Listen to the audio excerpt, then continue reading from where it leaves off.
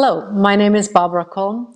I'm the director of the Austrian Economics Center, and we are discussing Carl Menger, the greatest economist, today. Uh, with me, I have Dr. Mark Skousen, uh, who is a financial economist, university professor, and the author of more than 25 books on economics, personal finance, and investing. Uh, Mark's works include economic logic, uh, the Marx, the maxims of Wall Street, a Viennese waltz down to Wall Street. As you know, he's a truly Austrian economist. The making of modern economi economics and uh, the complete autobiography of Benjamin Franklin. Mark writes as, uh, as an award-winning financial newsletter, forecasts and strategies. He produces the annual Free Mark, uh, Freedom Fest conference, uh, which this year will, next year actually will be held in Las Vegas again. And he's a presidential fellow at Chapman University. Uh, he has been a contributor to the Wall Street Journal, CNBC's uh, Santelli Exchange, Forbes magazine, and Investment U.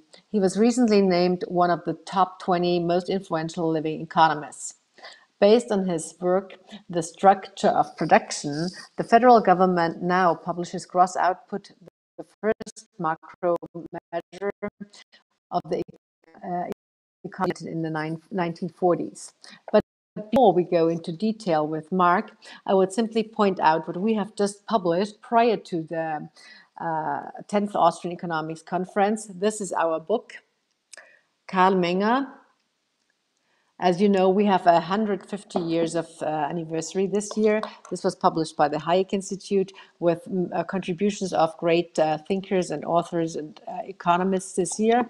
And then the outcome, this is what Mark will be presenting in his, in his paper, is the huge fat work of uh, the Austrian Economics Conference that was just held at um, at the Austrian Central Bank uh, in uh, in November, and it is that it was the tenth uh, conference of this kind, and we were proud to host live more than a hundred. Um, uh, um, authors of papers, plus um, many, many, many more people in the audience.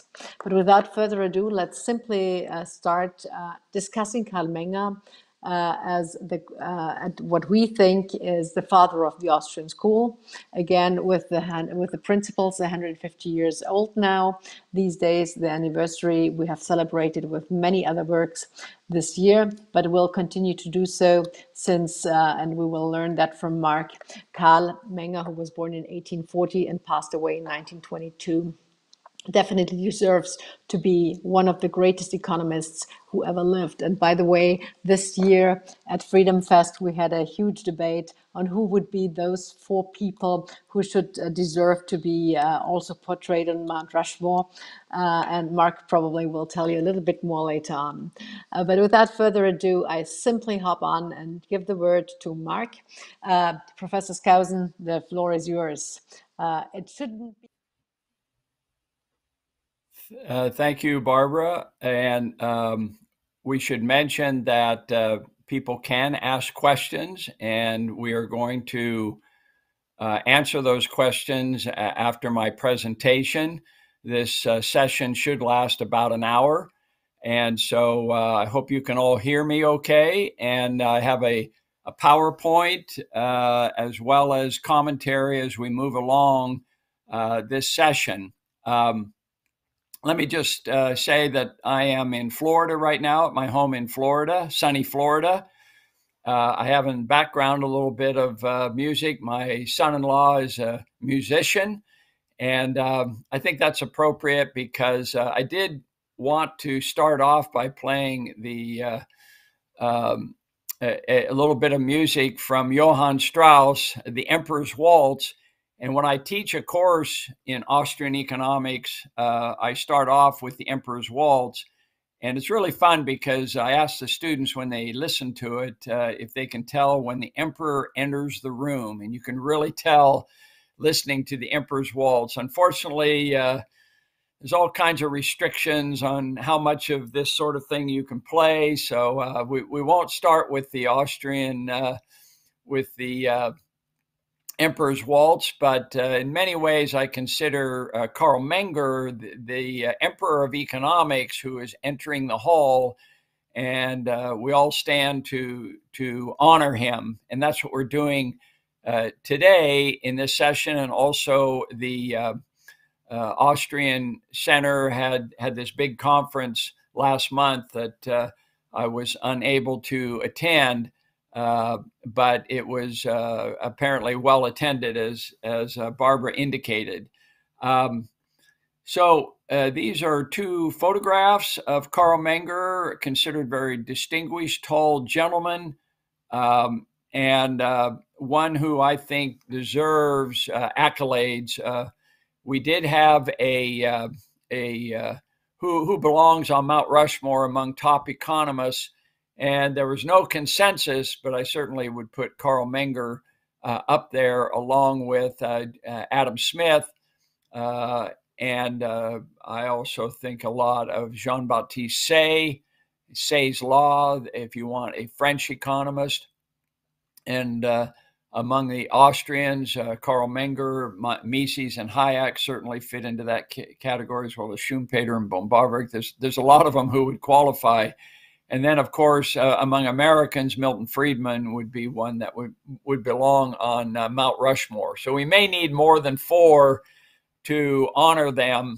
And uh, Freedom Fest uh, in South Dakota was a very big success. And we are going to Las Vegas next year. Uh, if you're interested in attending, uh, those dates are in July 13th through the 16th at the uh, in, in Las Vegas. And uh, you can get more information about that at freedomfest.com. So today I want to talk about Carl Menger. It is the 150th anniversary of the establishment of the Austrian School of Economics that started with the publication of the Grundsatz, the Principles of Economics, as translated uh, by Carl Menger that came out in 1871. Um, just in, in terms of an introduction, uh, I consider uh, Menger revolutionary, and I put him at the top of theoretical economists. And here's the reason why. Uh, first of all, as you know, Adam Smith, considered the founder of, uh, of modern economics, uh, but he and his system of natural liberty is a, a beautiful edifice that has been built and Menger definitely wanted to build upon that model. He wanted to remodel it, but not tear it down. You know, you can divide economists uh, into two kinds: the those who want to build upon and improve upon the Adam Smith system of natural liberty, which is what he called his economic model, and those who want to tear it down and, and build something else. Uh, Marxists, Keynesians fit into that category. So. Um, uh, I, I would say that uh, it, what I tried to do in my book, The uh, Making of Modern Economics, is divide economists into those two camps. So I have a whole chapter on Menger. Uh, I call it Out of the Blue Danube to have a little play on uh, words there. Uh, and my main point about Menger is that uh, he revolutionized both macroeconomics and microeconomics. And that's quite a feat. And I don't think there's any other economist who has achieved that level of uh, revolution in the economics profession. So I put him on the pinnacle, the top of all great economists. So if we have the next slide, you'll see uh, some interesting quotes, uh, what others say about Carl Menger. Uh, Knut Wicksell, said no book since David Ricardo's principles have had such a great influence on the development of economics as the Grundsatz. And by the way, what's interesting about the Grundsatz is that uh, uh, it wasn't translated into English until 1950. And that was a great, unfortunate tr- tragedy in a lot of ways because uh, his influence could have been far, uh, far more uh, powerful if uh, they had translated that earlier. But as you know, um, uh, um, Carl Menger uh, was a perfectionist. Uh, he thought there were serious flaws in his Grundsatz. Uh, I couldn't find any, but he seemed to think there were. So he never did want it to be reprinted. so I think that that would be an interesting historical footnote. Then we have Ludwig von Mises. It was the reading of his book, The Grundsatz, that made an economist out of me. Hayek said, I found it such a fascinating book, so satisfying. I would agree with that. It's a very satisfying book, and it's one you can read even today, and it's just so um, logical in its approach. And Sir John Hicks, who's uh, famous for his work on Keynesian economics, he says, Now I now rate Walras and Pareto, who were my first love, so much lower than Menger. Uh, and then uh, Jesus Huerta de Soto, the Spanish economist, said the entire theory of capital and cycles we have presented here rests on the, these this concepts of Menger. In short, Austrian school theorists have developed the whole theory of capital, money, and cycles which is implicit in the subjectivism that revolutionized economics in 1871. So that's quite a uh, tribute uh, to the great economist uh, uh, Carl Menger, who is not normally listed. If you did a survey of all the great economists, uh, Menger is not listed uh, in in the top three or four. You know, you have Marx and you have Keynes and and have Friedman and uh, so forth. Uh, but uh, in my book, uh, Carl Menger is right there at the top. Uh, next slide.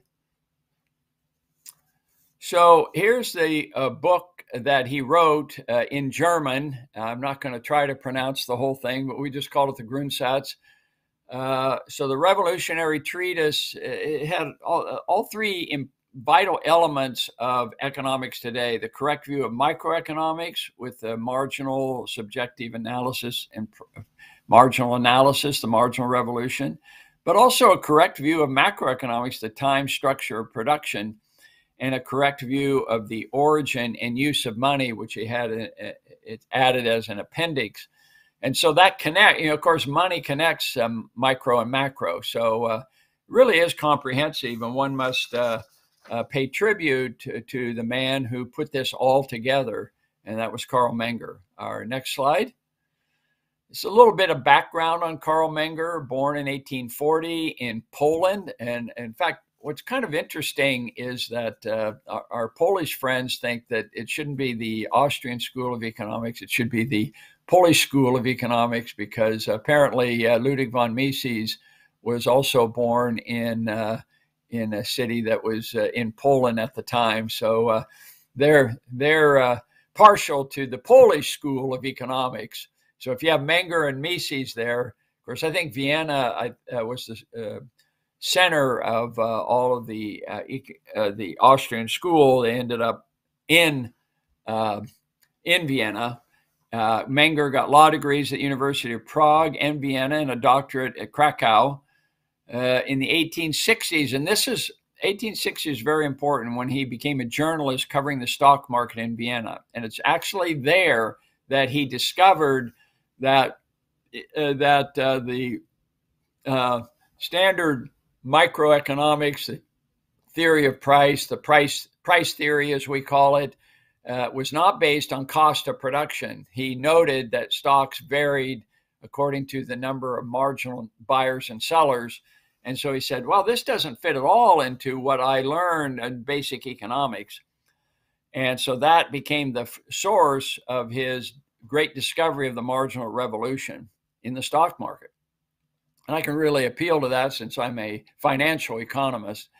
In 1871, he published his magnum uh, uh, opus, The Grundsatz, and considered one of the three founders of the marginal revolution in economics, uh, Stanley Jevons and Leon Walras being the other two.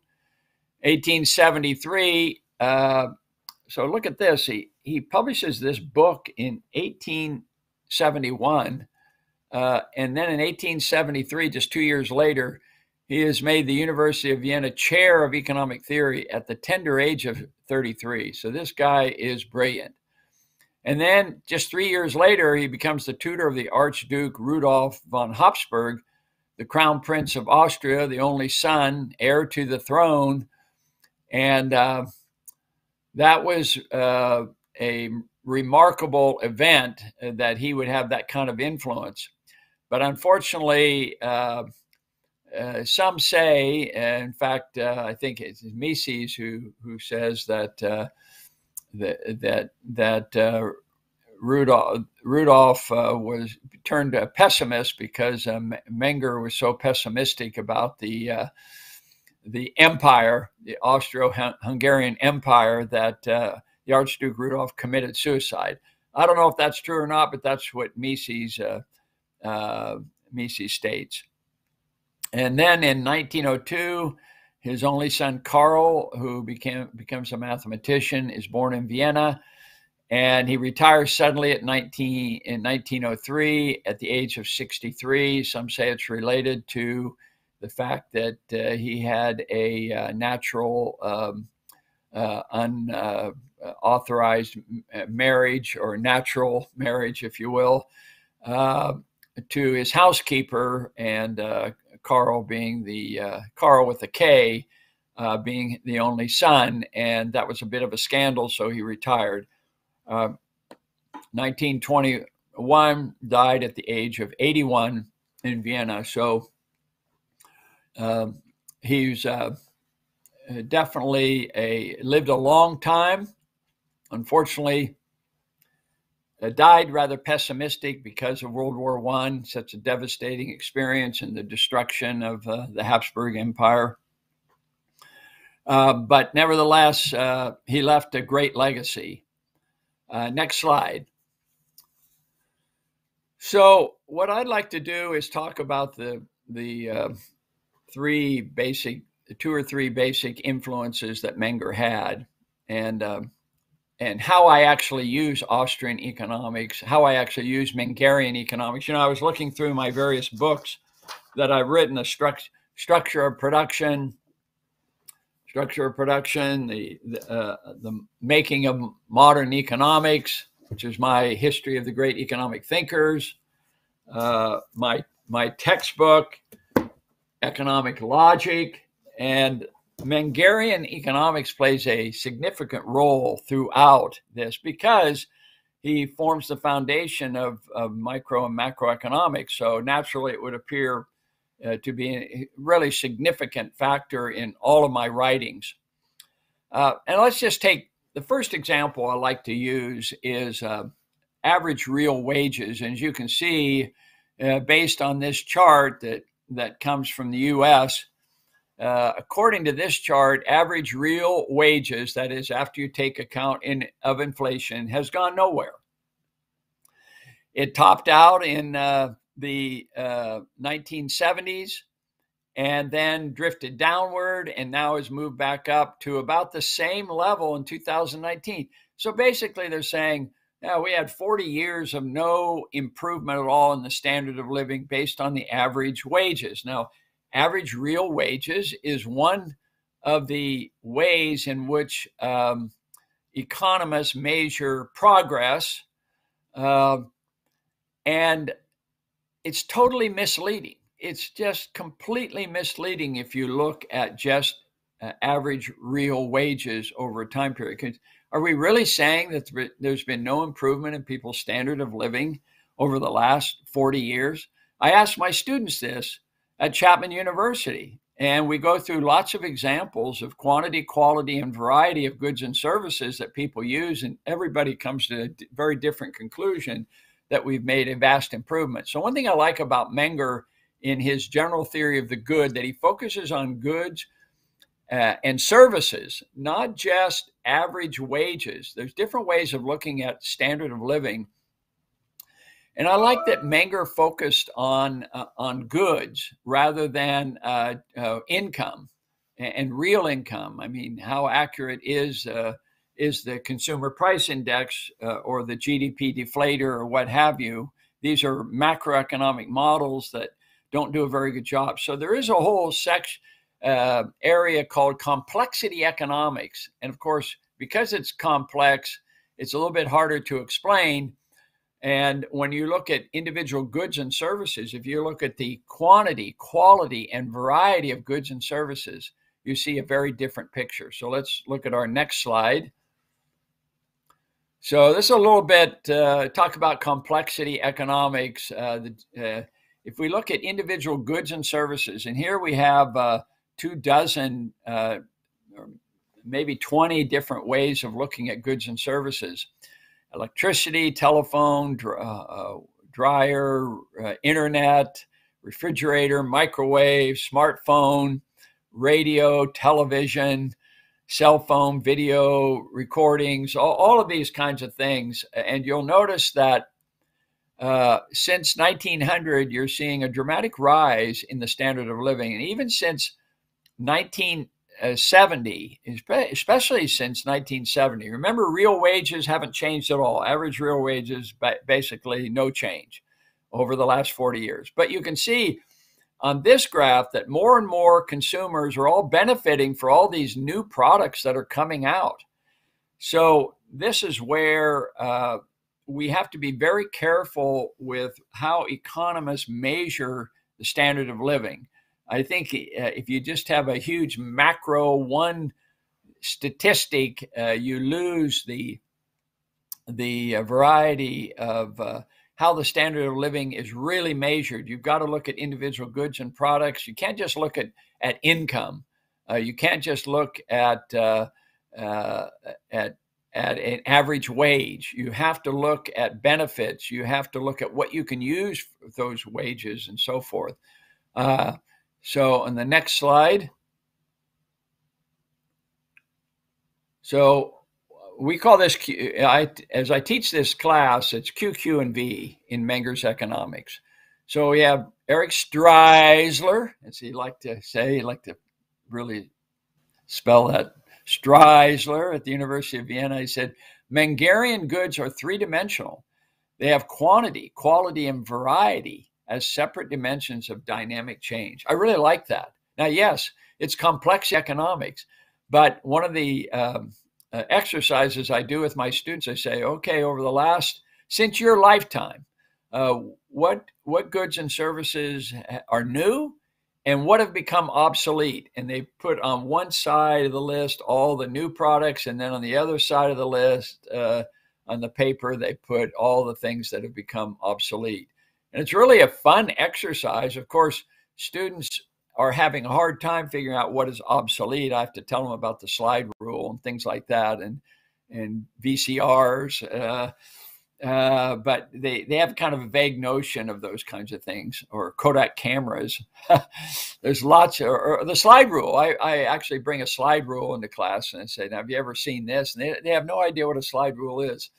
But that's the dynamics. Uh, when you look at QQ and V, you see the dynamics of Mengerian economics. And then Lionel Robbins says, this business of conservation to meet future needs, according to Menger, involves four aspects of behavior conservation of quantity, quality, choice, and choice as to secure the greatest results all around. So, one of the exercises I do with my students, uh, this is very Mengerian. I say, okay, one of, I want one of your students to go into the largest uh, liquor store and find out how many different kinds of beer there are that are offered for sale in a large liquor store. And then I have another student go to the grocery store and find out how many different kinds of breads there are. And the results are always astonishing to uh, to my my uh, students. There's over 100 different kinds of bread, and there's over 500 different kinds of beers that are being offered. So QQ and V is a really fun exercise. Uh, all right, next slide. So, example number two prices are determined the, by the margin. And this is a real shocker to a lot of people, especially when it comes to uh, uh, collectibles uh, or paintings or autographed baseballs, whatever you want to use uh, by uh, people who have artists who have passed away. So, their products are limited. So, you have an, you have a perfectly elastic supply curve. So, uh, based on that, uh, I asked the question Is it possible for a product with limited supply and the artist has died? Is it, po- is it true that the price can only go up? And it's a really good exercise uh, with the students because a lot of them say, well, yeah, the, uh, the demand curve, the supply curve is perfectly inelastic. Uh, so uh, as long if the demand keeps going up, then the then the price has has to go up.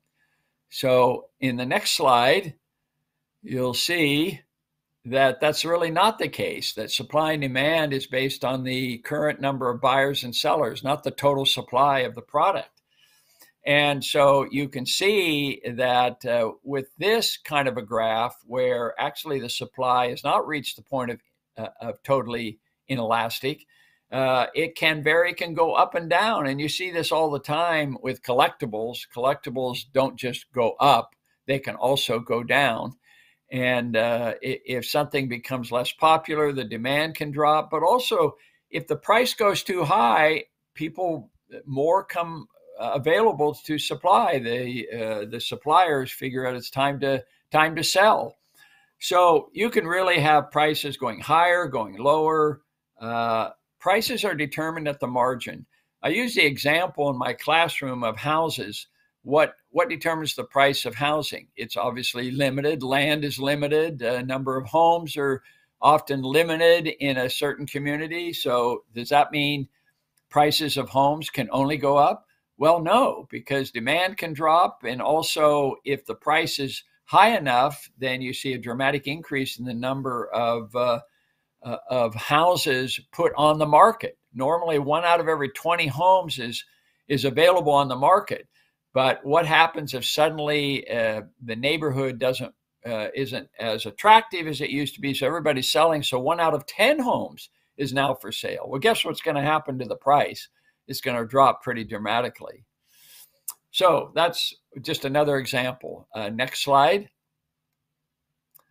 So the theory of imputation is a little bit hard to explain to uh, uh, to students, uh, and uh, this is this is interesting. How uh, Roger Garrison, who's an Austrian American economist with strong Austrian background at and and he makes the point that quote the direction of causation was reversed by Menger. A consumption good is not valued because of the labor and other means of production that are used to produce it. Rather, the means of production are valued because of the prospective value of the consumption goods. So everything is driven by whether the consumer wants the product or not. You can spend all you, all the money you want uh, producing a product, but if it doesn't sell, they may have to reduce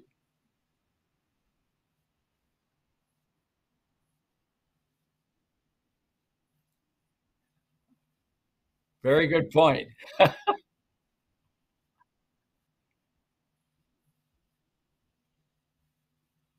and we want to cover questions too, so we better move on. Thank you, Barbara, for that. Uh, are we getting questions? Anybody uh, sending in questions so far? Okay, well, maybe that's because I'm completely comprehensive and covering everything. All right, let's move on to our next example. Uh, now, this is uh, moving into um, actually microeconomics, but but macro uh, his macroeconomic model, which is the structure of production. And here we have four stages of production. I use wheat as uh, as the production of bread as an example, where you start off with the raw commodity, and then it turns into flour, and then the wholesale, and then retail bread. And notice this four stage model of the economy. You have um, uh, a uh, the value added at each stage. Notice each rectangle is getting larger. Uh, next, uh, next slide.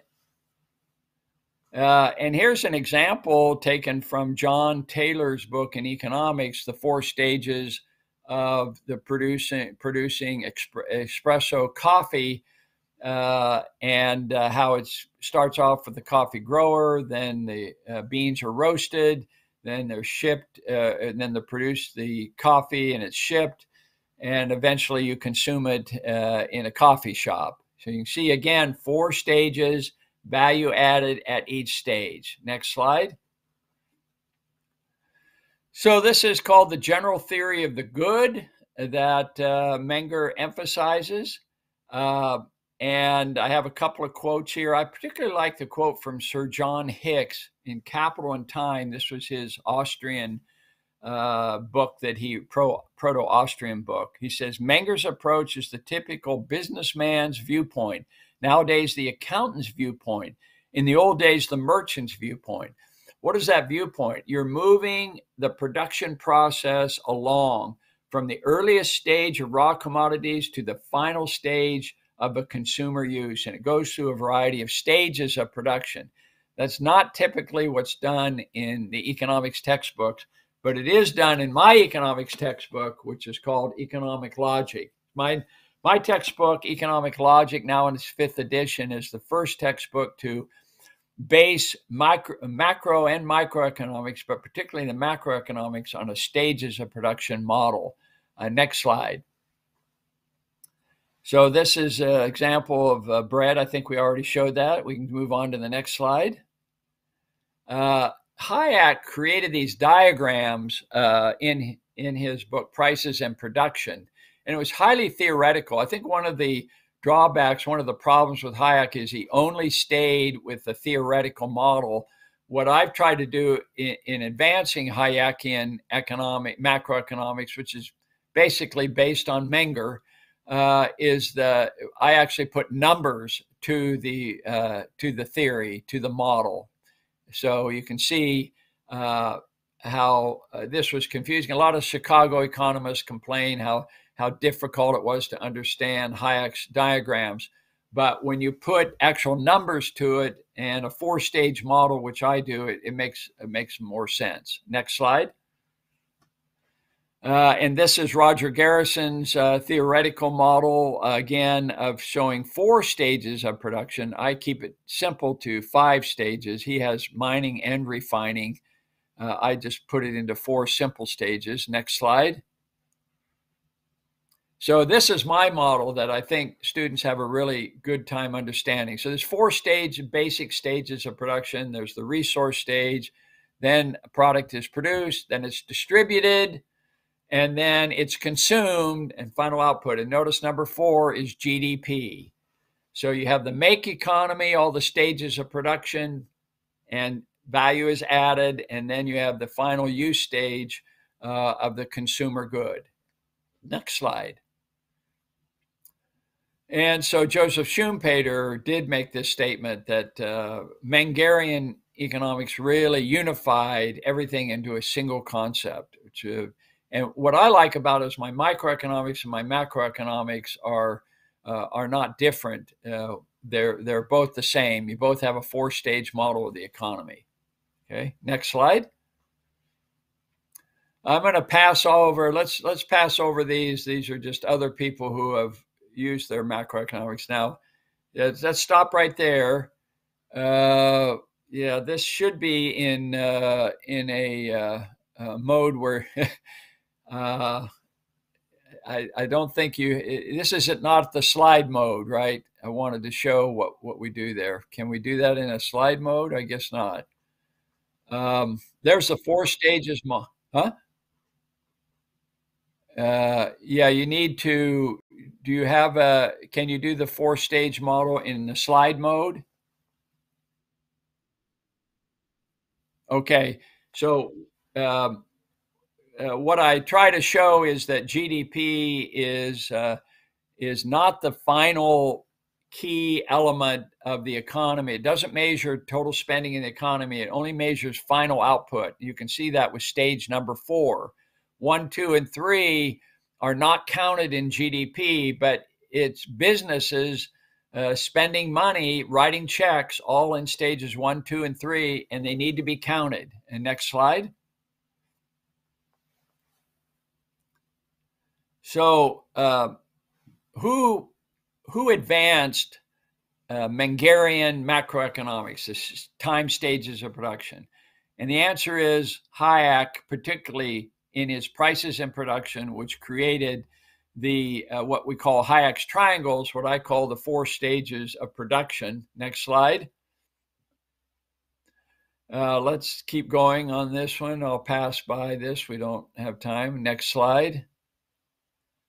Okay, there was a great triumph. I mean, I had been promoting in my own book, The Structure of Production, uh, which came out in 1990, the argument that we are it's inappropriate to just measure GDP because that measures final output only, that it leaves out the earlier stages of production, the supply chain, leaves out the total supply chain. And we all have noted uh, this year in particular how the supply chain uh, is so vital to final output. So it needs to be measured. And uh, the big news was in April 2014, after uh, 14 years of pushing the government, the federal government, to monitor, to measure the earlier stages of production, what we call gross output. They, in fact, did on never. I've, I've framed the uh, email that I got from the uh, from the director of the BEA who said we, we are now going to start measuring this on a quarterly basis. Steve Landefeld, who's quoted, is, is there below. Uh, next slide. So here I am with uh, members of the BEA. Next slide. Uh, and I'll, I'll pass by this slide. It's a new definition of GDP based on it. Keep going. So, Wall Street Journal has published three of my articles on this Mengerian view of the world. Uh, gross output is what I call the top line in national income accounting. Next slide. Uh, here's a quote from uh, these top economists saying gross output, GO, is the natural measure of the production sector, while net output, GDP, is appropriate as a measure of welfare. Both are required in a complete systems of accounts. Next slide. So most of you are familiar in accounting top line and bottom line. In accounting, the top line is total revenue and expenditures. The bottom line is profits. And so now finally we have a top line and a bottom line in economics. We've caught up with the accounting and finance professions finally in the 21st century. It took us that long. And the top line is uh, gross output, it's measuring total spending in the economy, while the bottom line is uh, final output, uh, finished goods and services. So we have a top line and a bottom line in national income accounting. Next slide.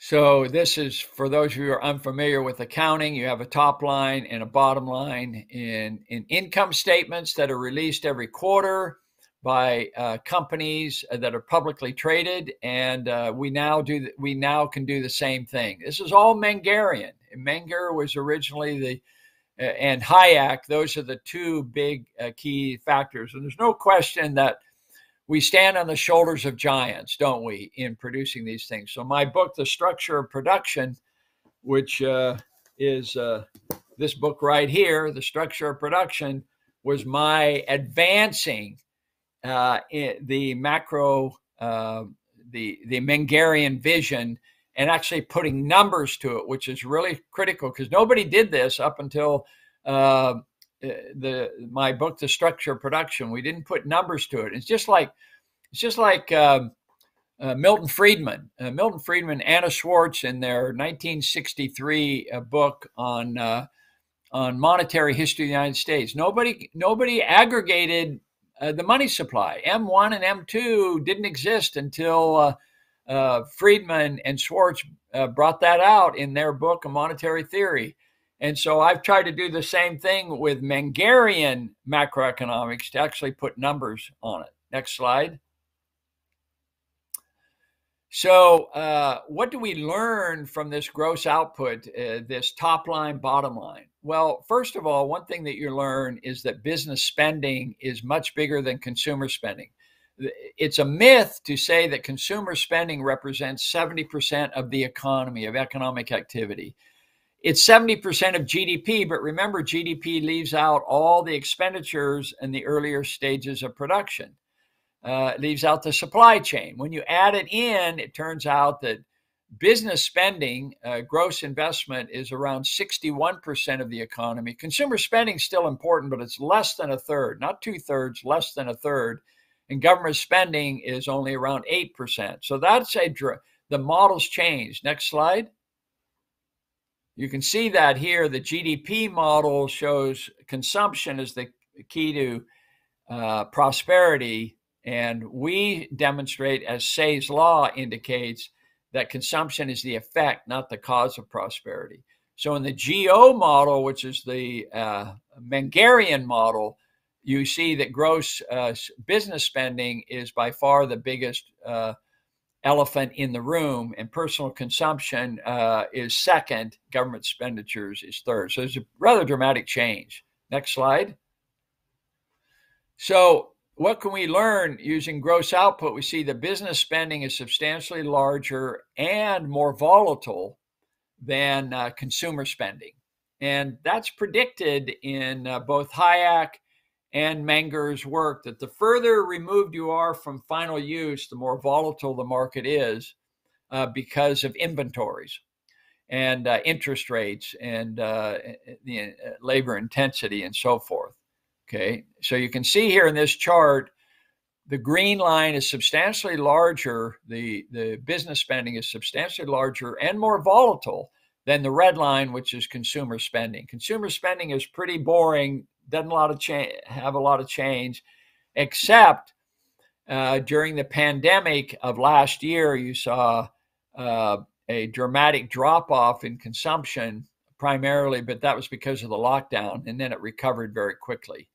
And you can see the supply chain has recovered very quickly also, even with the shortages that they're talking about. Next slide.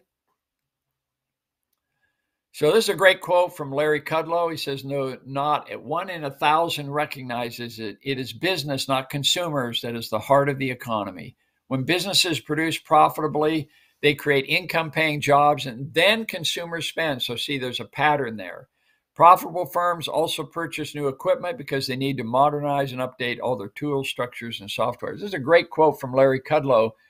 But unfortunately, even today, we still live under the Keynesian model of GDP, and they ignore the supply chain, and that's a that's a fatal flaw in current macroeconomics. So, one of the things I do in my textbook, Economic Logic, it's the first textbook that actually integrates gross output, the top line in national income accounting, Mengerian, the Mengerian breakthrough uh, in economics. And by the way, I have shown a number of uh, my books here, and if people are interested in in uh, getting more information and buying my my books at a discount, uh, they should go to skousenbooks.com, S K O U S E N, skousenbooks.com, and they can get any of my books at a discount.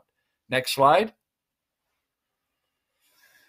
So, what do we learn? First of all, gross output, the top line in national income accounting, the Mengerian top line in national income accounting is a better, more comprehensive measure of the ups and downs of the economy and confirms the Austrian theory of the business cycle.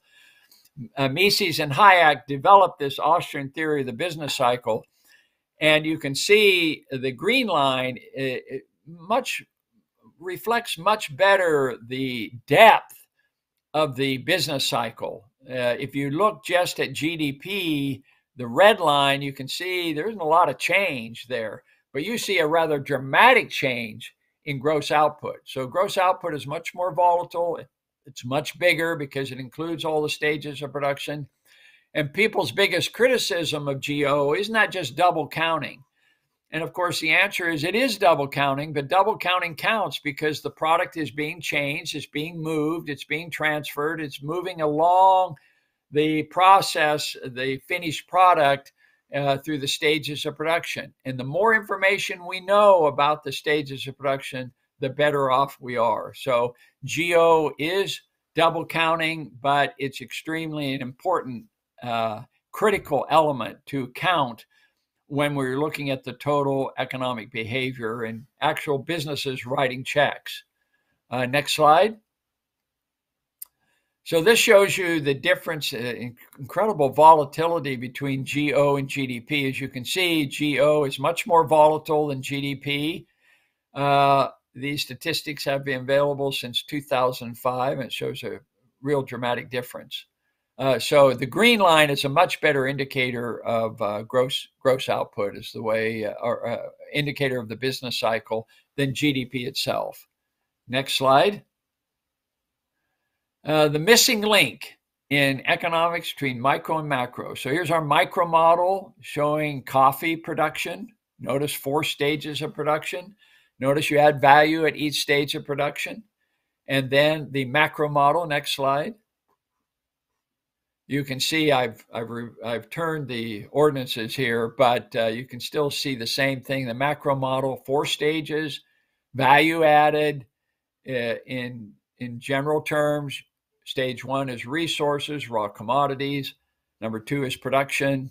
Number three, distribution. Number four is final output. And what I like about it is you can see how GO, which is a measure of all four stages of production, can be shown linked with GDP. So the really cool thing about GO is you don't have to completely redo the textbooks. All you need to do is add GO as the top line to the way national income accounting is taught, and uh, it, they are linked together. So it's it's it's not it's not like you have to throw out all of standard economics in order to in order to come up with the Mengerian Austrian uh, textbooks.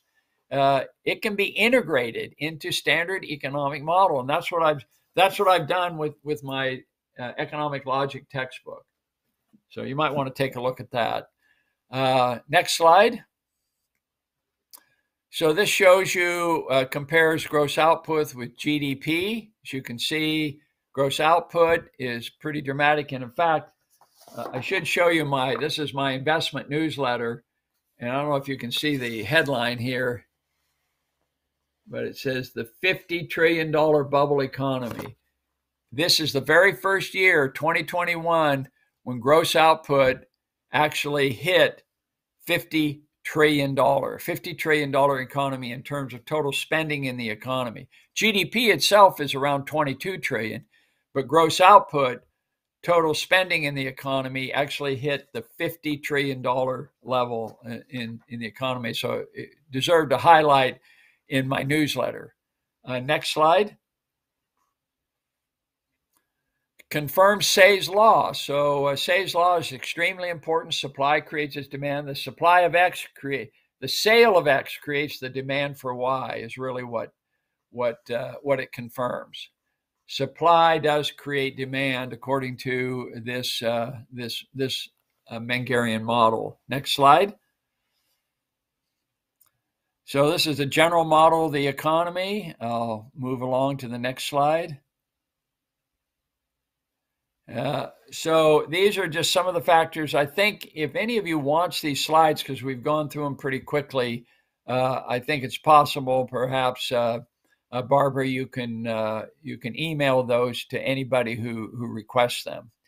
But we want to look at the total structure of the economy. So Mengerian economics is really valuable because it's not just it, de, uh, disaggregates the economy and so you look at more of what's happening within the economy rather than as as a whole so you don't just look at the rate of unemployment you look at the structure of employment and unemployment stock indexes you look at the s&p 500 but then you look at various sectors of the economy which are more volatile so there, there's a lot of fodder here for uh, for research and further work that that is being done in this whole area of the structure of the time structure of the economy, which is a Mengerian vision. Uh, next slide. So these are just some of the textbooks, including my own, that are now introducing gross output. And uh, McConnell Brue is one that that's the largest, biggest selling textbook, and it now includes a brief mention of gross output. But I see a time within the next 10 years that gross output as the top line and national income accounting will be included in, in all the textbooks. Next slide. How are we doing on questions? Anybody uh, uh, asking any questions?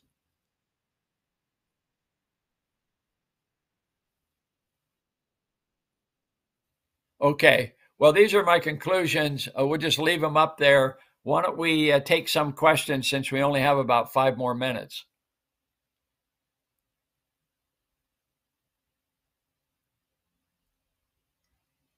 See, I can't hear you, Barbara.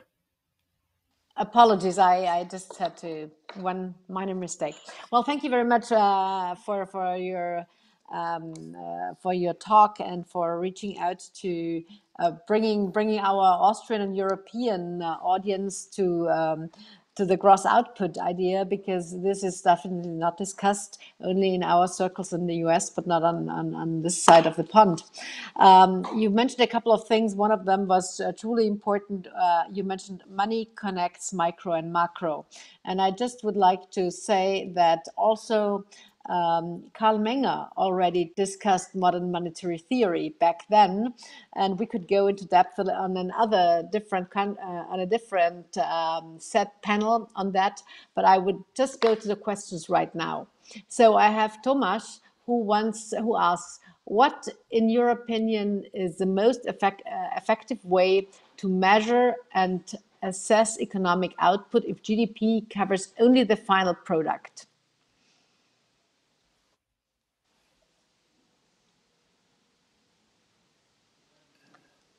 I mean, you already mentioned that, uh, but maybe you could go again a little bit more into depth uh, with regards of measuring. One of the things that uh, the BEA does, the government, um, can, you can hear me okay? Yeah. Okay. Yes. Um, is that uh, they break it down, they, they uh, uh, um, disaggregate, if you will, the different uh, price indexes uh, and output indexes. So you get to see what sectors of the economy are growing faster than others. Uh, and they put numbers to all of them. And they're always trying to update the numbers and improving their ability to uh, figure these out. This is the BEA, Bureau of Economic Analysis.